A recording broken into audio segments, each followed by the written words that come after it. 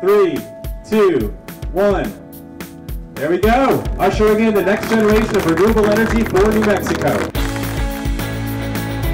We are in the beautiful city of Roswell, New Mexico in Chaves County, and we're celebrating the dedication and ribbon cutting of 140 megawatts of solar power coming online.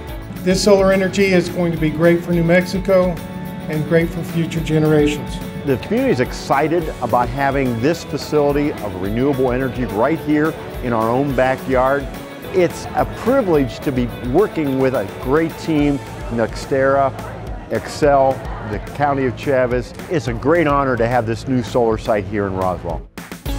Xcel Energy appreciates its relationship with NextEra and really welcome NextEra to New Mexico on this large project as we continue to use more and more cost-effective renewables, including wind and solar, for the benefit of our customers. It's been exciting to see it come together and have the support here from the local community. Everybody coming out today, excited about the project and, and wanting to see us do even more here in the community.